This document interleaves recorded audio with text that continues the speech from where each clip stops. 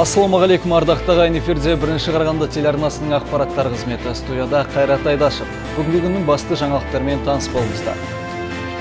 Жәйрем елді мекенінің тұрғыны абзал жәнібеков жергілікті кен байыту комбинаты басшылығынан өтемақы төлеуді талап етуде. Қарағанды қаласы шет ауданына қарасты ағадыр ауылындағы үш мектептің біреуі жабылудың алдында тұр.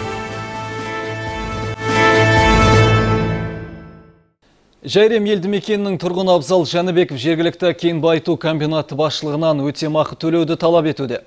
Оның айтуынша өткен жылы кеніштегі жұмыс орнында газбен улану жағдайы орын алған. Зардап шеккен азаматтың айтуынша басшылық өкілдері оған моральдық материалдық өтемақы төлеудің орнына оның өзін сабап, оны нашақорсың деп қорлапты. Тақырыпты тілшіміз тарқатады. Орын алған оқыс оқиғадан кейін Абзал Жәнібеков қарағандылық құқық қорғаушылардың көмегіне жүгінді. Себебі әділет іздеп талай табалдырықты тоздырған. Абзал Жәйрем елді мекеніндегі кеніште тазалаушы болып жұмыс істеген. Өткен жылдың қараша айында жұмыс орнында жүріп, улы газбен уланып қалған. бір шама кешіктіріліп шақырылған жедел жәрдемдегілер оны жергілікті ауруханаға жеткізген. Одан кейін қайта тексерістен өту үшін Жезқазған қаласындағы қалалық ауруханаға жөнелткен. Ол жерде жағдайы нашарлаған Абзалды ұшақ арқылы облыстық медициналық орталыққа жеткізген больницаға келдім. Больницаға келсем балам қол аяғы байлаулы. Ештеңке танымайды ешкім танымайды. Жатыр байлаулы. Үстінде киімдері жоқ. Медсестраның айтқаны балаңыз астында көп жатып қалған ғой деймін деді. Тілін жұтып қоя жаздаған дейді іші дәретке отырып қойған дейді. Көзі айналып кеткен дейді. Ештеңке білмейді дейді. Абзалдың қорғаушысы илья махлов істі толықтай қарауды талап етеді. Объективных данных, которые указывают на то, что вот э, өзіңіз ойлап қараңызшы жұмыскер өз кезекшілігінде шахтаға келіп түседі де сол жерде шегіп алып жатып қалады екен. Бұл логикалық жағынан да басқа жағдай жағынан да алып қарағанда толықтай мүмкін емес. Тіпті ол шекті деген объективті мәлімет те жоқ. Мені үйге жұмсап жіберді да қалдырып киімін алып келіңіз балаңыздың деп. А мен пока келгенімше балаға укол салған и аспанға секіртіп бұны жындығып қойған да. Жаңағыдай аяқ қолын байлап скорыймен тез алып кеткен жезқазғанға психбольницаға бет аузынан түк жоқ денесінің барлығын. Ұрылған бір жақ беті былай ашық қисайып кеткен. Менде бар дискі бар дәлел бар. Қорғаушының айтуы бойынша өндірісте болған қайғылы оқиғаға байланысты комбинат тарапынан құрған комиссия қажетті тексерулерді назардан тыс қалдырған. Комиссия қорытындысы бойынша болған оқиғаға жауапты тек Абзалдың өзі ғана екен. Яғни бар кінә жұмысшының мойнына ілінген. по своей работе комиссия не комиссия тіпті болған оқиға мен оның жәнібеков мырзаға қатысты еңбектік қызметінің арасындағы ешқандай байланысты қарастырмаған абзал жәнібеков пен оның қорғаушысы илья махлов осы іске қатысты қазыбек атындағы аудандық сотқа шағым түсірді. Олар өтемақы беруден бас тартқан. Жұмыс берушілерді заң орындары арқылы тәртіпке шақырмақ. Сонымен қатар абзалдың улану кезінде алған дене жарақаттарына байланысты құқық қорғау орындарына да шағым жазылды. Жәбірленушінің өзі тек әділеттілік орын алғанын қалайды. Себебі уланудан кейін абзалға дәрігерлер екінші топтың мүгедектігін берсе кеніш басшылары оны сыртынан жұмыстан шығарып жіберген. Көмек жаңағындай чтобы енді заңды түрде әділ сот болғанын қалаймыз да. Ордабұзар отызында екінші топтың мүгедек атанған абзалдың еміне қажетті дәрі дәрмектер бағасы да қомақты қаржыны құрап отыр. Осыған байланысты жәйрем елді мекеніндегі кен байыту комбинатына да қоңырау шалған болатынбыз. Алайда кеніш басшылығы жағынан сауалға жауап беретін адам болмады. Десек те бұл мәселе тілшілер қауымының назарында болады. Меруерт балкеева жасұлан мақұлбеков бақтияр оспанов бірінші қарағанды телеарнасы. Қарағанды қаласы шет ауданына қарасты Ағадыр ауылындағы үш мектептің біреуі жабылудың алдында тұр. Сес мамандарының тексеріс нәтижесінде оқушылардың денсаулығына зиян келтіретін бірнеше заң бұзушылықтар анықталды. Маметов атындағы білім ордасы қызметкерлерінің өрескел заң бұзғандығы санитарлық эпидемиологиялық станциясы жүргізген жоспардан тыс тексеріс нәтижесінде анықталды. Мектептегі оқушыларға берілетін тағамдардың бірнеше түрі талапқа сай емес екен не, не были проведены отбор продукции так как санитарлық нормаға сай келмеген бірнеше заң бұзушылықтар анықталды. Тағамнан өзге бұл мектептегі мини орталықтарында бөлек кіретін есік болу керек. Оны біз аңғармадық. Сонымен қатар бөлек әжетханалар болу керек. Өкінішке орай бүлдіршіндер оқытушылармен бірге бір әжетханаға барған. Ал ағадыр ауылының білім бөлімі басшысы кеткен олқылықтың себебін тіпті телефон арқылы түсіндіре алмады. Бірнеше сағат бойы бір біріне сілтеген жауапты мекемеден түсірілім тобымыз тек телефон дыбысын ғана естумен болды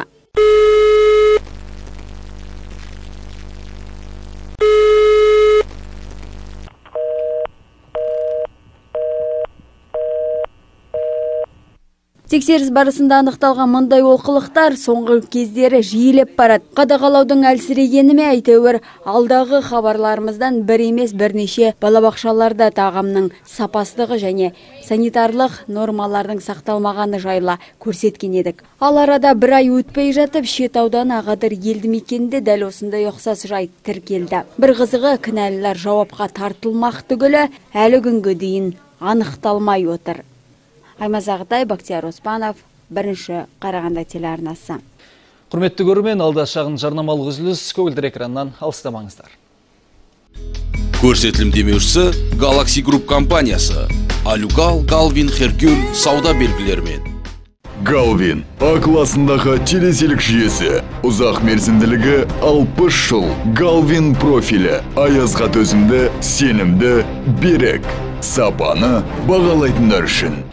Енді құқық бұзушылық туралы ақпарат берген азаматтарға ақша төленбек. Заңға бағынбағандар мен қарапайым азаматтарды ақпарат беру арқылы күресіп, оларды тәртіпке шақыралады, әрі ақшалай сыйлыққа да ие болмақ. Қоғам тәртібін сақтаудың бұл түрі қылмыс деңгейін азайтуға едәуір септігін тигізбек. Бүгін қалалық маслихаттың кезекті отырысында халық қалаулылары құқық қорғау орындарының қызметтік желісінің кейбір мәселелерін талқыға салды. Тұрғындар мен жасөспірімдер арасындағы құқық бұзушылық туралы Қарағанды қалалық әкімі аппаратының мемлекеттік құқық бөлімінің жетекшісі Бауыржан Құсайынов мәлімдеді. Оның айтуынша өткен жылы дер кезінде берілген ақпараттар үшін 70-тен астам қарағандылық тұрғындар 800 мың теңгеден астам ақшалай сыйақыға ие болған.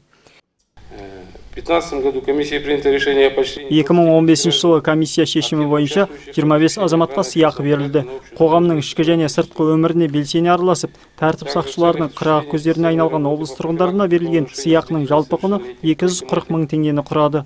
сондай ақ жасөспірімдер арасындағы тәртіпсіздіктің алдын алуда және олардың құқығын қорғауда арнайы құрылған қалалық комиссия мүшелері жұмыс істейді. Шенеуніктердің айтуынша ағымдағы жылы жол көлік оқиғалары өткен жылмен салыстырғанда біршама азайған. Оның үстіне жасөспірімдердің тәртіп бұзу факторларының пайыздық көрсеткіші де төмендеген. 2014 жылы кәмелеттік жасқа толмаған есепке алынған балғындардың саны мың жарымға жуықтаса биылғы жылы бұл сандық көрсеткіш айтарлықтай азайған. Тәртіп сақшылары сонымен қатар балаға дұрыс қарамайтын отбасында тіркеуге алған. Аталмыш мәселе жағынан депутаттар әкімшілік өкілдері әлеуметтік жұмыскерлер мен ішкі істер департаменті қызметкерлерін бірлесіп жұмыс істеуді қолға алуға шақырды. Был общественный совет при УВД города, правильно же, из лица депутатов, из лица а, авторитетных людей, будем говорить, Агатаев. Э, может быть, сейчас продлить вот этот вот, как бы, общественный совет, создать, да, возобновить работу халық қалаулылары қаламыздағы қылмыстың өсуінің өз мониторингісін жүргізді. Жоспарлы отырыстардан бөлек олар тексерістер мен арнаулы рейдтер өткізіп отырды. Депутаттардың көтерген бастамасы бойынша жеті баланың ісі бақылауға алынды. Сонымен қатар ағымдағы жылы екі жасөспірім оқудан қалған. Олардың тәртіптері мен тәрбиелері де қолға алынуда. Депутатами совместно с представителями депутаттар мен қарағанды қалалық ішкі істер басқармасы қызметкерлері өткен жылдың ақпан айында бірлесе жүргізген жұмыстар кезінде білім ордаларында арнайы жиналыстар өткізді. Ішкі істер департаменті қызметкерлері ақпараттармен бөлісті.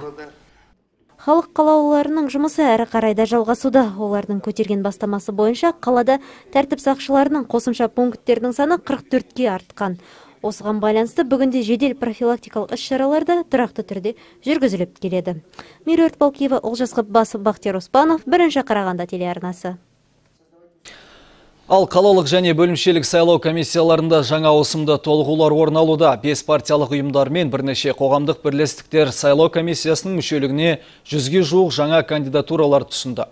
Жаңа комиссия мүшелері орын басатын сайлау комиссиялардың бұрынғы мүшелері әртүрлі себептерге байланысты өз орындарын босатты. Біреулері мекен жайын өзгертсе, енді біреулері басқа себептерге байланысты өз қызметтерін тоқтатты.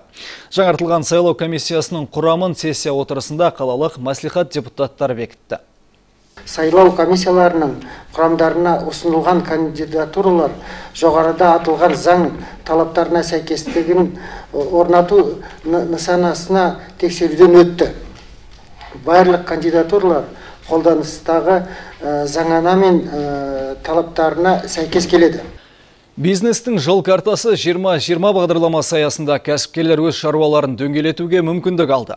Арнайы комиссия отырысы аталмыш бағдарлама шеңберінде 8 жобаны мақұлдады. Ірі кәсіптің құлағын ұстаған бизнес өкілдері алдағы уақытта жоба бойынша өз жұмыстарын жалғастыра алады. Айта кету керек, Қарағандының бетке ұстар кәсіпорындары бағдарлама шеңберінде жаңа жобаларын ұсынып отыр. Олардың арасында әлеуметтік маңызды нысандардың да жобасы бар.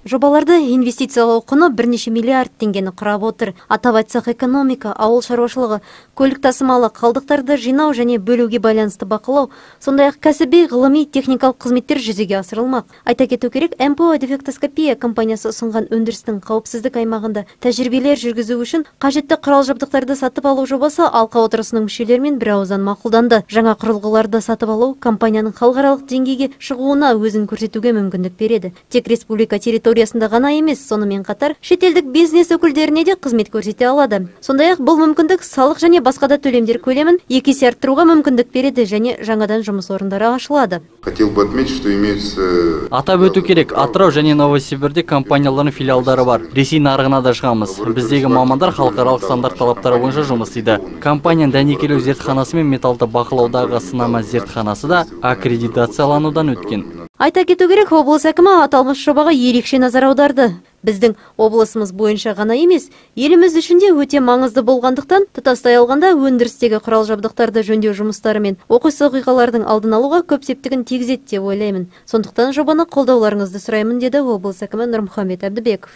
Хорошо, давайте вот поступило предложение поддержать, поддержим проект и утверждаем его субсидирование координациялық кеңесте талқыланған ірі жобалардың бірін гаркомтранс жауапкершілігі шектеулі серіктестігі ұсынды. Аталмыш кәсіпорын бірнеше жыл қатарынан қатты тұрмыстық қалдықтарды шығару және оларды жоюда жұмыс істеп келеді. Соңғы үш жыл ішінде кәсіпорын 30 арнайы техника сатып алды. 500-ге жуық қоқыс контейнерлерін жаңартты және 200-ге жуық қосымша евроконтейнерлер орнатты. Ағымдағы жылы тағы да 28 машина сатылып алынбақшы. Олар қаламыздың тазалыққа қатысты қызмет көрсету аясын кеңейтпек. Бұл жаңа 28 жұмыс орны ашылады деген сөз және төленетін салық сомасы да біршама артпақ.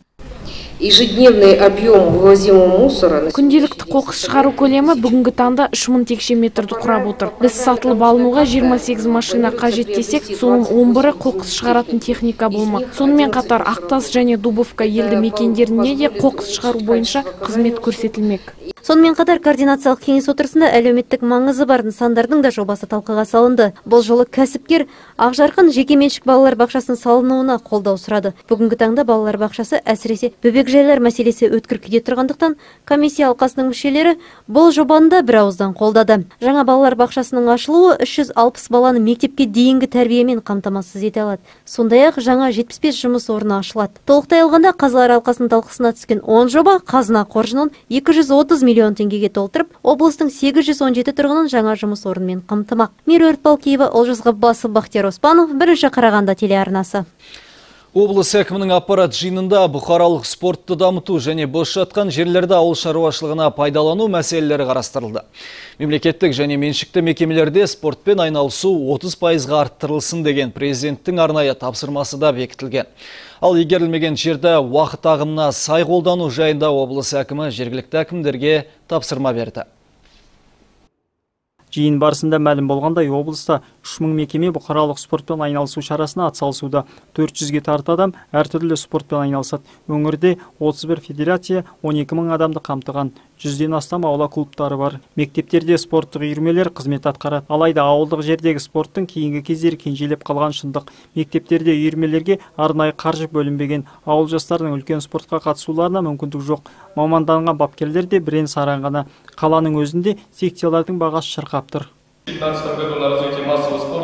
2015 жылы спорт басқармасына 25 миллион теңге бұқаралық спортты дамытуға, ал аудан қалаларға 423 миллион теңге бөлінді. Мың елу ауылдық елді мекенде 2766 спорттық нысан жұмыс істейді аппарат мүшелері келесі кезекте бос жатқан жерлерді тиімді пайдалану қажеттігі жайында пікір алмасты. Аймағымызда 42 миллион 700 гектар жер бар. Оның 13 миллионнан астамы ауыл шаруашылығына тиесілі. Облыста 2282 гектар жер мүлдем игерілмесе ал жалпы бос жатқан жер 1 миллион 835 мың гектарды құрайды.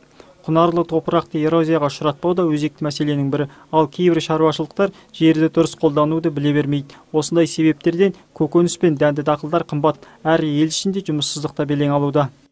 Из-за неиспользования пахотных земель пашни залежи ауыл шаруашылығына қарасты бос жатқан жер ең көп аудандар ұлытауда 500 гектарға жуық. Бұқар жырауда 240 мың.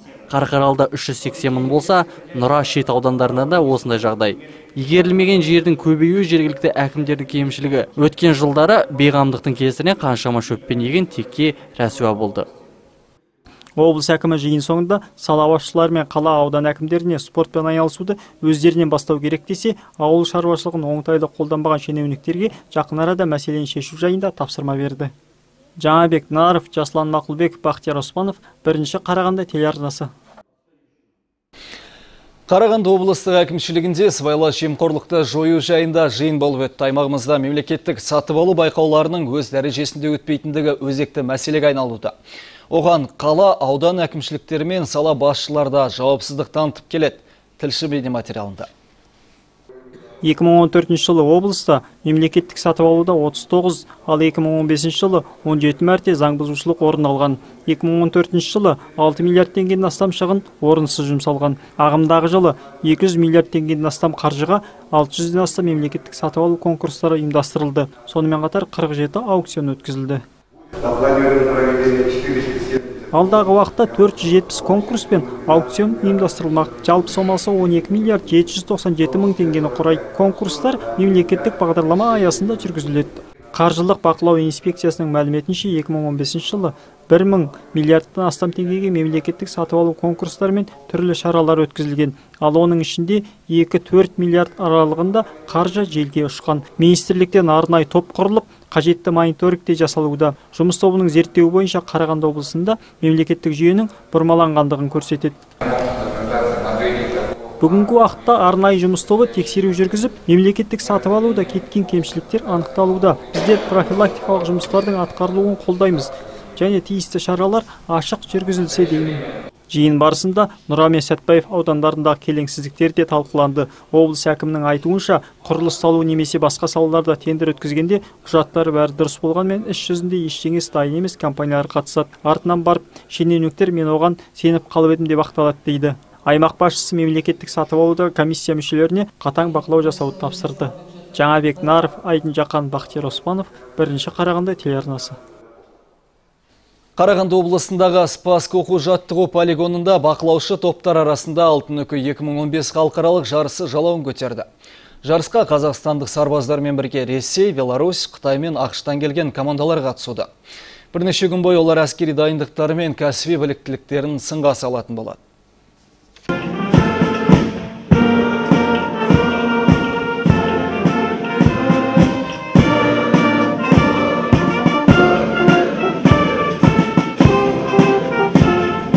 Жарысқа 10 барлаушы топ құрамында 120-ға жуық жауынгер қатысуда. Олардың қатарында ресей беларусь қытай мен америка құрама штаттары мемлекеттерінің командалары да бар. Бұдан бөлек оқу жаттығу жарысын бақылау үшін түркия индия мен италия мемлекеттері өз өкілдерін жіберген көрінеді. Болашақта бұл жарысқа аталмыш елдердің сарбаздары да қатысуы мүмкін. Мәселен америка құрама штаттары өткен жылы бақылаушы ретінде қатысса биыл жарысқа барлаушылар тобын дайындап әкеліпті.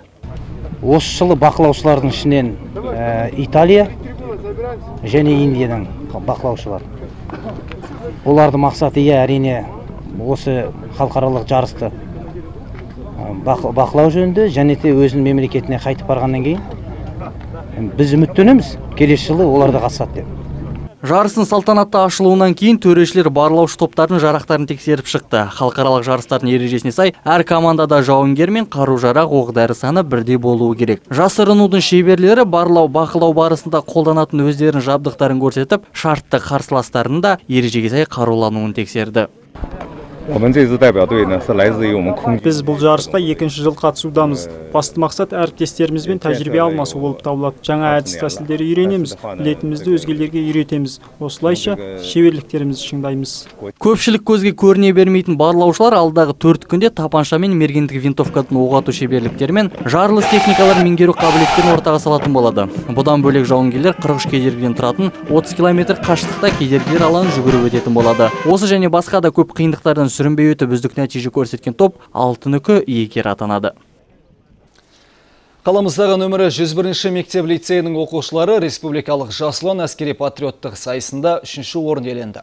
Еліміздің әр өңірінен жинақталған 18 команданың ішінде үздік үштікке іліну үлкен табыс. Елге абыроймен оралған Сұңқар патриоттық клубының тәрбиеленушілерін ата-аналар мен ұстаздары қарсы алды. Тараз қаласында өткен жарыста жүлдегерлер қатарынан көрінген оқушылар төрт күн бойы әскери казармада өмір сүріпті. Қарағандылықтар жүзу, жүгіру және мергендік сайыстарда үздік нәтиже көрсеткен көрінеді. Әскери жиын барысында жарыстармен қатар мәдени шараларда ұйымдастырылған екен оқушылар Тараз қаласының тарихи орындарын аралағандықтарын айтады. И мы жили э, в казарме. Біз әскери казармада тұрдық. Тәртіпке сәйкес таңғы алтыда ұйқыдан оятып алады. Алғашқыда бұл кестеге үйрену қиын болды. Дегенмен кейін үйреніп кеттік. Осы жарыстан кейін әскери қызметке қызығушылығым арта түсті. Ардақты ағайын дүйсенбіге келіп түскен жаңалықтардың реті осындай болды. Егерде қандай да бір қызықты да маңызды ақпараттарыңыз болатын болса, редакциямыздың 4206-49 телефонына қоңырау шалды ұмытпаңыздар. Мен өздеріңізбен қоштасамын, амандықта жүздескенше.